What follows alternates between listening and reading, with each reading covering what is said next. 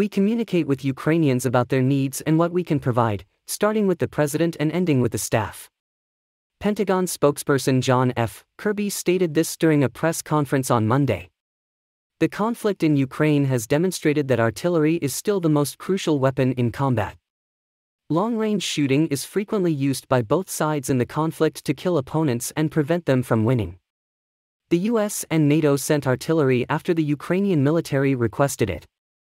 As part of its 90M7 program, the Pentagon is also delivering seven 155mm howitzers to Ukraine. More of the same kind of howitzers are being sent by both Canada and Australia. Additionally, 12 pieces of self propelled, 90,155mm armoured artillery will be sent by the UK. It has been decided to send 155mm Panzerhaubitze 2000 SP self propelled howitzers from the Netherlands, Belgium, and Italy. 12 Caesar 155mm self-propelled howitzers from France will be deployed. The 155mm M77-7 howitzer improved long-range fire capabilities for the Ukrainian army.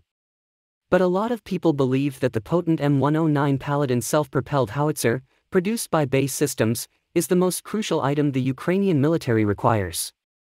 30 feet in length and 27.5 tons in weight make up the M109 Paladin.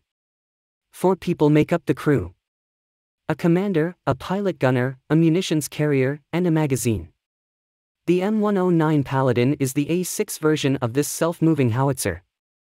The US military now employs more than 900 of these howitzers. The Meter Care Browning howitzer is on top of the M109 Paladin, which is armed with a 4,155mm Meter Care 80 gun. Number 50 heavy machine gun The M109 Paladins can fire up to 8 rounds per minute and can maintain a steady tempo of 3 minutes between each round. The self-propelled howitzer can fire its rounds from up to 15 kilometers distance when using unaided cartridges. It can fire from a distance of around 30 kilometers using aided cartridges.